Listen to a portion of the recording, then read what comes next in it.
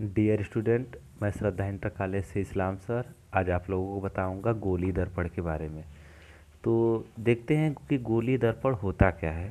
तो गोली दर्पण कांच के खोखले गोले का भाग होता है, जिसके किसी एक सतह पर पारे का लेप लगाकर दूसरे पृष्ठ को परावर्तक तल बना दिया जाता है।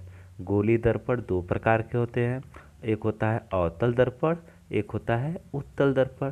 तो देखिए, समझिए, जैसे हम मान लेते हैं कि यह कोई कांच का खोखला गोला है। अब यह कांच का खोखला गोला है तो यह पारदर्शी होगा। अब इस कांच के खोखले गोले से हम दो ऐसे भाग काट लेते हैं। तो जब इससे दो भाग काट लेंगे और काटने के बाद जब इसको अलग करेंगे तो एक भाग ऐसे प्राप्त होगा और एक भाग ऐसे प्राप्त होगा। तो यह देखिए, अब इसके हम किसी एक सतह पर कलई कर दें। जैसे इसको हम इस सतह पर पारे का लेप लगा दें तो पारे का लेप लगा देंगे तो यह चिकना तल हो जाएगा परावर्तक तल। यदि इस पर हम पारे का लेप लगा दें तो यह चिकना तल हो जाएगा तो यह परावर्तक तल। तो इसमें परावर्तन की प्रक्रिया उभरे भाग से हो रही है और इसमें परावर्तन की प्रक्रिया दबे हुए भाग से हो रही है, क्योंकि यह दबा हुआ भाग है और यह उभरा हुआ भाग है। ठीक? तो लिखेंगे क्या? कि यह गोलीय दर्पण कांच के एक खोखले गोले का भाग होता है, जिसके किसी एक पृष्ठ पर या सतह पर हम पारे का क्या लगा देते हैं? लेप लगाकर दूसरे पृष्ठ को परावर्तक तल बना देते हैं। अब गोली दर्पण के प्रकार तो गोली दर्पण दो प्रकार के होते हैं, एक अवतल और एक उत्तल। तो अवतल किसे कहते हैं? तो वह दर्पण ऐसा दर्पण जिसमें परावर्तन की प्रक्रिया दबे हुए भाग से हो। तो देखिए, यह मान लेते हैं कि यह कांच के खोखले गोले का भाग है। तो इधर से जो भाग होगा, वह उभरा होगा और इधर से जो भाग होगा, वह दबा होगा। तो हम कहेंगे कि अवतल दर्पण किसे कहेंगे? तो वह दर्पण जिसमें परावर्तन की क्रिया किस भाग से हो? दबे हुए भाग से हो। और जब परावर्तन की प्रक्रिया दबे हुए भाग से होगी तो कलई किस भाग पर करेंगे? उभरे भाग पर। ठीक? तो लिखेंगे अवतल दर्पण क्या होता है? तो लिखेंगे कि वह गोली दर्पण जिसमें परावर्तन की क्रिया दबे हुए भाग में होती है, उस दर्पण को हम कौन सा दर्पण कहते हैं? अवतल दर्पण। ठीक? जैसे में चित्र ए, चित्र नीचे बनाया गया है दोनों एक साथ। यहाँ पर देखिए, अब बात करेंगे उत्तल दर्पण। तो वह दर्पण जिसमें परावर्तन की क्रिया उभरे हुए भाग से होती है, उस दर्पण को हम कहेंगे उत्तल दर्पण, जैसे चित्र बी अब देखिए चित्र ए और चित्र बी होता क्या है? तो हम देखते हैं चित्र ए और चित्र बी के बारे में। तो देखिए, यहाँ पर चित्र ए में कलई किस भाग पर किया गया है? उभरे भाग पर। तो उभरे भाग पर कलई किया गया है तो परावर्तन की प्रक्रिया किस भाग से होगी? दबे भाग से। तो यह कौन सा दर्पण होगा? यह अवतल दर्पण होगा। और यह यह दर्पण देखिए, इसमें कलई किस भाग पर किया गया है? इसमें कलई या पारे का लेप किस भाग पर लगाया गया है? दबे हुए भाग पर। तो इसमें परावर्तन की प्रक्रिया किस भाग से होगी? उभरे हुए भाग से। तो यह कौन सा दर्पण उत्तल। या फिर याद करने का तरीका देखिए। ऊ से उत्तल और ऊ उभरा। मतलब जिसमें परावर्तन की प्रक्रिया उभरे भाग से होगी, वह उत्तल। और जिसमें परावर्तन अब उभरा छोड़कर एक होगा दबा तो जिसमें परावर्तन की प्रक्रिया दबे हुए भाग से होगी, वह कौन सा दर्पण होगा? वह होगा अवतल। ठीक? तो यहाँ पर हम बात करेंगे कि गोली दर्पण संबंधित कुछ परिभाषाएँ अब। ठीक? तो गोली दर्पण संबंधित कुछ परिभाषाएँ तो जैसे में गोली दर्पण का वक्रता केंद्र क्या होता है? तो यहाँ पर हम देख लेते हैं कि यह कांच का खोखले गोले का एक आकार बनाया गया है। ठीक ना? तो यहाँ पर कांच के खोखले गोले के इतने भाग को काट लिया गया है। अब इतने भाग को जब हम काट लेंगे तो यह वाला भाग हम बस डैश डैश से दर्शाएँगे। तो यहाँ पर देखिए, पहले हम बात करेंगे वक्रता केंद्र। तो यह वास्तव में है क्या? यह वास्तव में यह जो दर्पण बना है, यह कांच का एक खोखला गोला है। तो कांच के खोखले गोले के केंद्र को हम वक्रता केंद्र कहेंगे। ठीक? तो लिखेंगे क्या? कि यह गोली दर्पण कैसा दर्पण है? अवतल है। क्यों? क्योंकि इसके, इस पर कलई किस भाग पर किया गया है? उभरे हुए भाग पर। परावर्तन की प्रक्रिया किस भाग से होगी? दबे हुए भाग पर।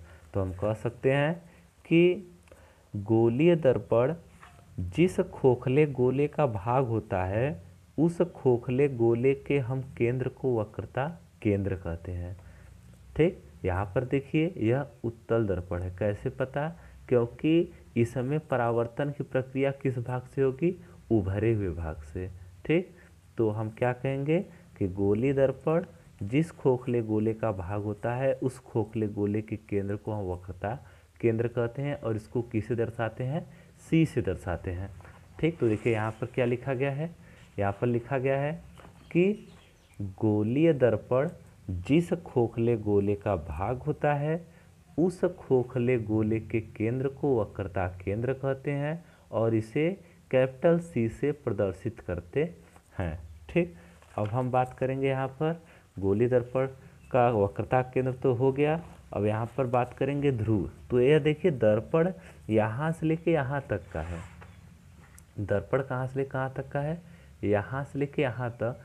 तो दर्पण का यह मध्य बिंदु है और इसी दर्पण के मध्य बिंदु को दर्पण का क्या कहेंगे? ध्रुव।